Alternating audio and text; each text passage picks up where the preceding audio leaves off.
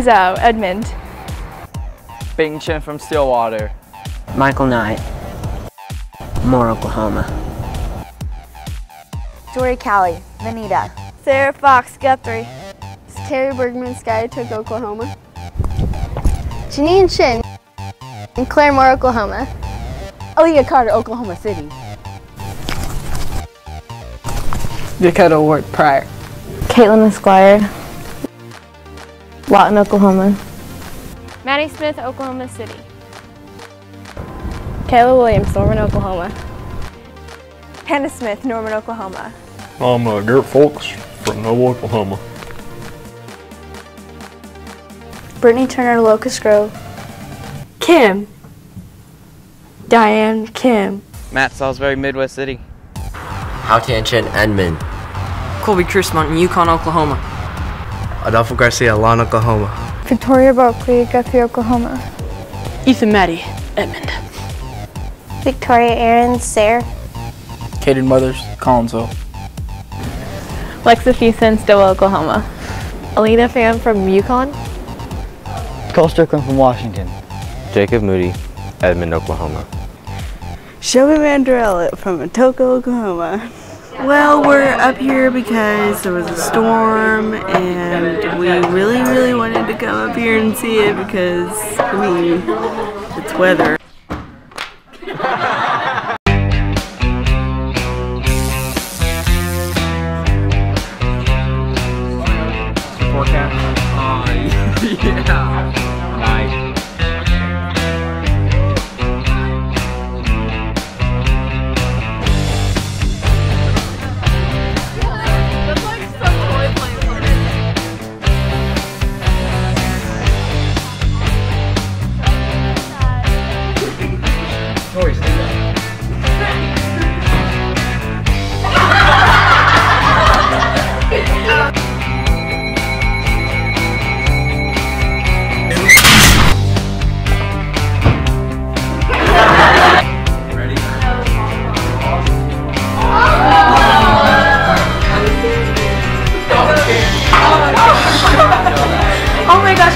Gosh, no one get off.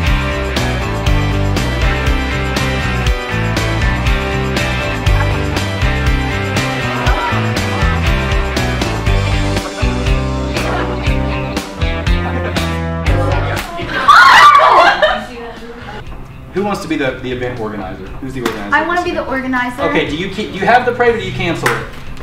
We're Based gonna upon have the, it. You're gonna have it. Okay.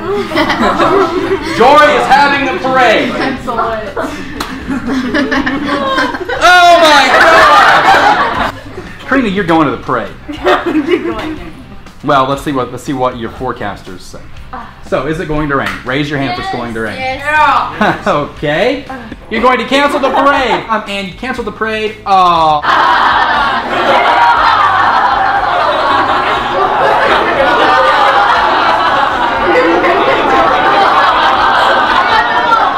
I came to weather camp because my teacher, she told us about it and I got all excited about it, so I wrote an essay. I came to weather camp because I heard it was going to be a lot of fun from my friend who went here before me, and to learn about weather, because weather's cool. I brought so many shoes to weather camp because I'm a girl and I love shoes. Approximately how many shoes I have would be a very large number. I came to weather camp because I wanted to see what meteorology was like.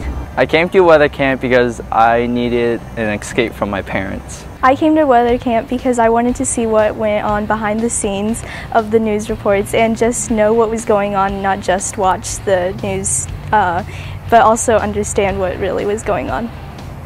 I came to weather camp because I'm, I was looking to get a master's degree in meteorology so I can become a chief meteorologist.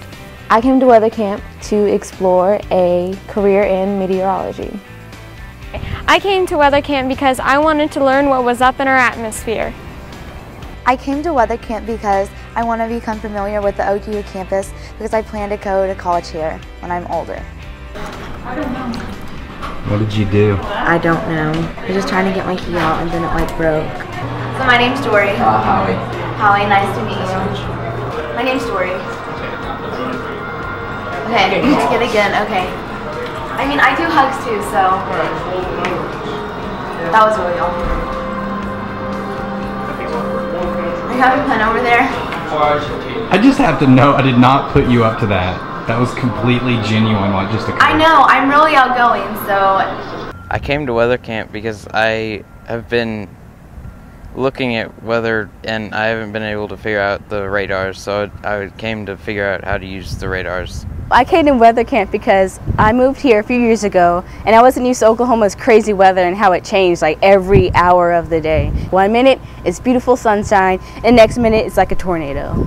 I came to weather camp because I wanted to learn more about meteorology so I could pick a career in college and plan out my future. I came to weather camp because I've wanted to be a meteorologist since I was five years old and you know it's good to get away from everything once in a while. I came to weather camp to learn more about meteorology. I came to weather camp to learn about meteorology and to make more friends. I came to weather camp because I want to have more experience and then choose which career I want to do. I came to meteorology camp because I've had a passion for storms since I was around six years old. I wanted to come to weather camp because I wanted to make new friends. I came to meteorology camp to get a feel for college at OU. Boomer Sooner. I came to weather camp because I wanted to learn how to be a meteorologist and how the weather works. I came to weather camp because this might be a profession I'm looking into when I get older. I came to weather camp because I wanted to learn more about weather in general, but I wanted to really home in on severe weather in particular because the ferocity of it has always impressed me and I wanted to know what makes it that way. I came to weather camp because I wanted to study about anything about meteorology because I wanted to be a meteorologist. And I just love all things weather. Mostly tornadoes though, so I like the exciting parts. I came to weather camp because I want to learn about severe thunderstorms and more other things about the high pressure and low pressure. I came to weather camp to learn all about what the scientists do in their labs and how they do it and see how easy it is. Maybe get a job in it. I wanted to come to this camp because I think weather is really amazing and I wanted to learn more about it. I came to weather camp because I want to learn more about weather. I wanted to come to this camp because it exposes me to jobs in meteorology. I came to weather camp because I wanted to learn more about the weather. I knew some things, but I didn't know all of it. I don't like that camera. Why? It doesn't like you either, so we've got that out. Now that we've got that out of the way. I don't like that camera. I used the Mesonet website to find the temperature in Guthrie. Okay, so Washington is just south. Today we got to visit the Mesonet Tower and my favorite thing about it was the lightning rod on top and um, we just kind of got to learn everything about how it works and how it functions and has all these really cool things on it. There's this th there's a thing on top and it checks the wind speed and then there's also a thing that checks temperature and it was really cool just to kind of see what it was and just to learn about it. My favorite part was the radiation shield on top of the thermometers and uh, other equipment to protect it from the sun. And I really liked how some people could think of that and just um, get a better understanding of the real temperature instead of having the sun affect it. I learned that from the National Weather Forecast Office. They give out all the warnings, um, including blizzard warnings, tornado warnings, flood warnings, and all kind of stuff to your like local TV stations to warn you about incoming weather. Today I toured the Storm Prediction Center, which monitors severe weather patterns all around the U.S. It's this big room with a bunch of radars that monitors stuff like humidity and cloud patterns. When I did the cloud in the bottle, I put water or alcohol in the bottom. When they pumped the air up, I let go of it real fast and the pressure dropped really fast. And then it made a cloud inside of a bottle. We learned about shooting a cloud vortex at each other in trash cans and it creates a ring of air because a vortex goes through it and the air in the middle is moving faster than the air on the outside. What is the balloon made out of? It? What kind of rubber? Do you know if it's ever gotten struck by lightning? What if there's one coming towards you? Can you jump up and will it carry you a little bit? Why do you use The weather balloon experience was very great, and that it taught us about how weather is researched on a daily basis. We learned about the weather balloon and it is has 80 feet rope between the balloon's bottom and the transmitter. It measures the air pressure and the temperature and the wind speed. We did a lab called rain gauge, rain gauge calibrating test. And what you do is you fill the burette with water and you wanted to open this nozzle so the water will go down the bucket and the bucket will tip when it's full. So you stop the nozzle and then calc- like calculate the water level of the burette Okay, go down more than that because we need to be 18.5 and not 5.5. We had to pour water into the top of the gauge to calibrate it to get it to 18.5 milliliters. And once it was to 18.5 milliliters, when it would tip over, then that's when we knew we were good to go. We drew maps with contour lines and uh, the same temperatures. Uh, they use it to predict where storms may occur. Um, it's important to use uh, boundaries because they normally have uh, storms form there. We made weather maps and they were very difficult. We had to connect all these crazy lines with triangles and squares and that kind of stuff. And we learned about fronts and boundaries where storms can form. Isotherms are like the hardest thing to draw ever because you have to find all the same temperatures and draw a very red line in between all of them. We learned about all the different uh, boundaries that uh, thunderstorms occurred on, and then after that we learned what um, what instruments uh, picked those up, and then we learned how to draw it on a map. and 100. And a couple more little marks in here, so this is probably like 110. Because what we're really capturing is the it's the jet. It's the max maximum area of wind. So you have this 120 is bigger than 100, so this actually would need to because you have 100 between these two. That line would actually need to stretch further. Uh, the activity we did with troughs and ridges with wind speed, we connected contour lines to form a map. Ridges are come from the south and bring warmer temperature, and troughs come from the north and bring cooler temperature, and usually storms and rain. I like WeatherScope because you can customize your own map and you can even go back into the past and learn about the history and how big storms formed and other storms like the May 3rd tornado and the tornadoes last year and you can learn from it and learn how they're similar and different. I like the WeatherScope maps because it was just so easy to create a map and put whatever you want on it, and it was really fun to use.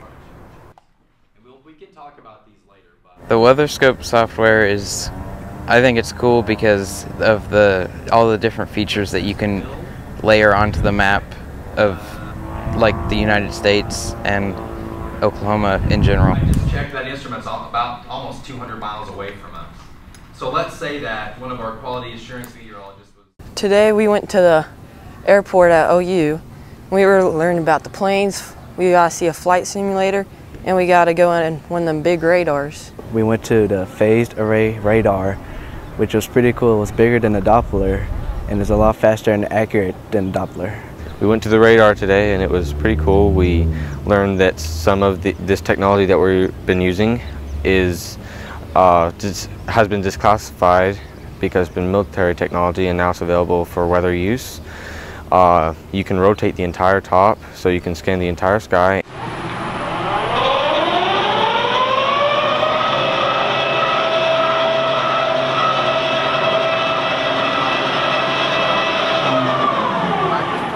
Whole thing rotates, the staircase rotates, and it's carrying about uh, 20 tons. My favorite part was the radar because there's a giant plate and in that plate there's 43 152 little plates, and each of them can actually generate one microwave. If you think about it, that's a lot of popcorn. The flight simulator was cool. I liked how he depicted all different types of weather and what you have to go through to actually be a pilot. We went to the flight simulator and they told us about how to fly in the extreme weather conditions and they were talking about that if you can't see three miles away from the landing then you have to like go around and go back again or they can't do it. Going to the TV station was great. I mean, I walked through the door and I just got like so excited.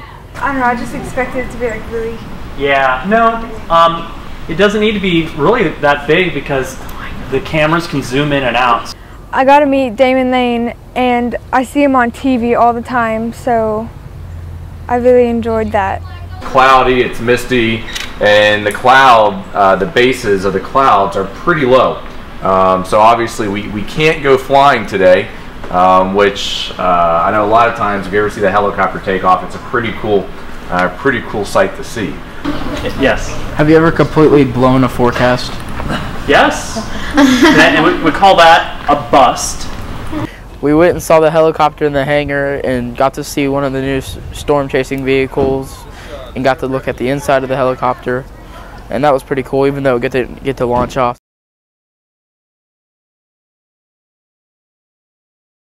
I usually get at least one email a week saying, you know, because what happens is, okay, so in the in the summertime you get tan, and my makeup was made for me not to be quite as tan. So sometimes you'll see a line right where I stop, and someone will say, hey, we can see a line on your face from where you stop putting on your makeup. So I'm not very good. I might let my wife be the one to uh, to teach the daughter how to put on the makeup. I'm not very good. My favorite part about this week was uh, seeing uh, Channel 5, and I liked it because of their uh, weather set. We got to meet Damon Lane, that was really cool. Where is it? That right there. I don't know. Yeah. Okay, um, where is Ardmore? there you go. There you go. It's tough. It's We got to mess around with the green screen at the weather station today.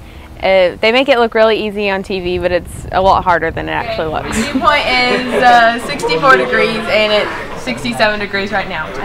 It's weird because I've seen Jonathan and Damon Lane on television, but it's strange to look at them in person because they're real.